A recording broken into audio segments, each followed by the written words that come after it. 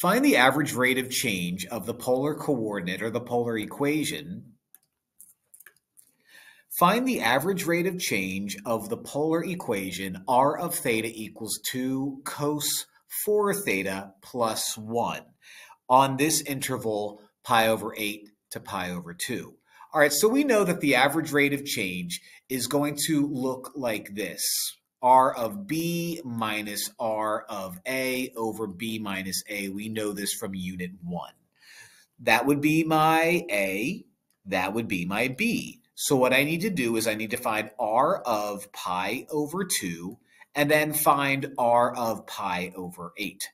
r of pi over 2 is going to be 2 cos 4 times pi over 2. Simplify that in a minute, plus 1. 2 cos 4 times pi over 2 is going to be 2 pi. So 2 cos 2 pi plus 1.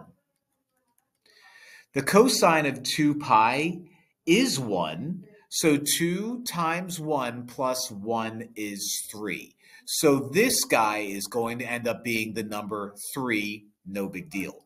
To find r of a, I'm going to do r of pi over 8. So the same idea, 2 times cosine 4 times pi over 8, close it, close it, plus 1. That becomes 2 times cosine. 4 over 8 is a half, so a pi times a half is pi over 2. Pi over 2 plus 1. Cosine of pi over 2 is 0. So that's nice. So this becomes 0 plus 1, which is 1. So now I have r of b, which is 3, minus r of pi over 8, which is 1, over uh, b minus a, which is going to be, that's going to be the gross part, pi over 2 minus pi over 8. So that's going to be the worst part. 3 minus 2, not so bad. Uh, I'll turn u into 4 pi over 8 so I can subtract these two fractions. So 2 over 3 pi over 8.